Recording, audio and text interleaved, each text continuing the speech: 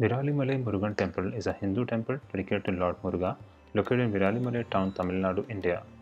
According to a story, there was a Kura tree in the place where now the temple exists. A hunter was chasing a tiger. It disappeared at this spot. It was believed that Lord Murugan was there where the tiger disappeared and people began their worship. Lord Muruga showed the way to Viralimalai to Saint Arunagirinadar who was coming from Bayalur and also taught him the rare eight miracle arts or Ashtama Siddhis. Saints and yogis are said to have lived in the form of Kura trees and worshipped Lord Murugan here on this hill. Hence, the name of the temple has come to be known as Virali Viralimalai. Saint Vashishta's wife Arundhati forgets to feed Lord Murugan where he was born at Sharvana Poigai.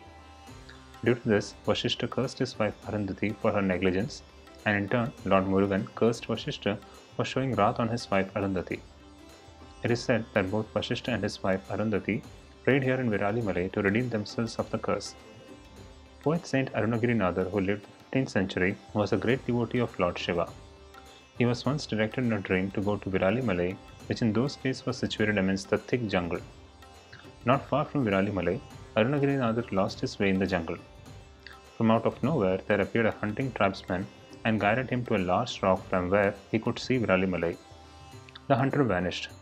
Arunagirinadar realized that Lord Murugan himself guided him. Viralimalai has been praised by Arunagiri Arunagirinadar in 16 verses of Tirupugal. I hope you liked this video.